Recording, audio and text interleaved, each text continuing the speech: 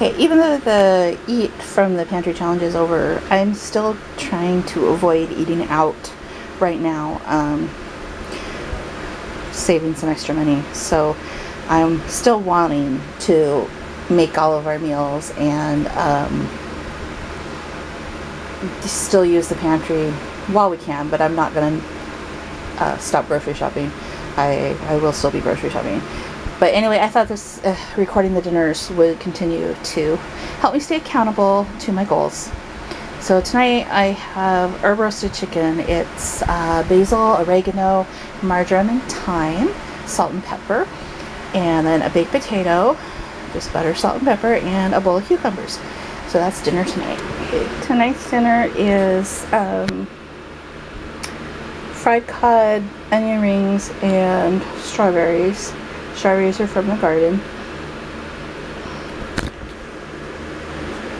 Tonight's dinner is leftover onion rings, um, a beef cheeseburger, and cucumber slices.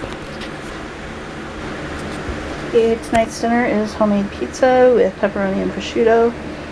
Um, I will probably have some coleslaw too, but um, I'm not really terribly in the mood for fruit tonight.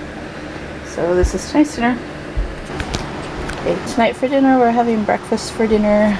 Um, I I made two turkey eggs. Um, this is actually one slice of bacon from our um, sausage sow. It it's really long, um, so I cut it up into pieces. But one piece of bacon from that is like eating um, two to three pieces of bacon from the store um, size wise. And then I have um, cucumber slices. And I am also having, for my carb, I am having um, a slice of homemade um, bread with um, peanut butter and homemade dandelion jelly, which is really good. It tastes like honey. So that is tonight's dinner. Uh, tonight's dinner is um, leftover chicken, watermelon, and um, homemade bread with dandelion jelly. I will probably have some coleslaw if I still have room. I don't know. This is dinner tonight. It is too flippin' hot to even go in the same room as the oven, let alone use it.